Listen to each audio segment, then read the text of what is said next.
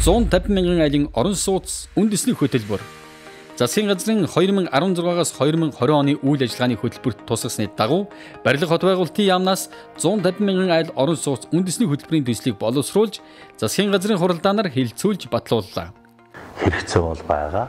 Хэрэгцээ бол орон сууцны хэрэгцээ бол тасралтгүй байгаа. Тэр утгаараа бид нар 150 мянган айлын орон сууцны за 10 гаруй мянган орон сууцыг гэр оролдоо амны орон сууцыг дахин төлөвлөх байдлаар иргэдийнх нь оролцоотойгоор барьж байгуулах. За 30 гаруй мянган орон сууцыг ашиглахын шаардлага ангаагүй орон сууцыг дахин барилгажуулах. За иргэдийн өөрсдийн эзэмшлийн газар дээр аж ахуйн нэгжийн өөрийн эзэмшлийн газар дээр байгаа газрыг дахин төлөвлөх байдлаар хувийн хвшлийн хөрөнгө оруулалт 57 мянгаыг барих.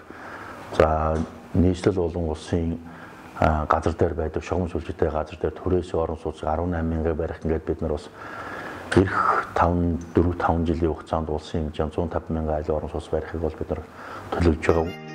Уг хөтөлбөрийг 2019-оос 2023 онд хэрэгжүүлж төв суурин газарт амьдардаг өрхүүдийн дийлэнх олонх нь өөрсдийн худалдан авах чадварт нийцсэн Монгол орны цаг уурын нөхцөл тохирсон эрүүл ахуй аюулгүй байдлын шаардлага хангасан инженерийн бүрэн хангамжтай орон сууцтай болох нөхцөлийг бүрдүүлнэ.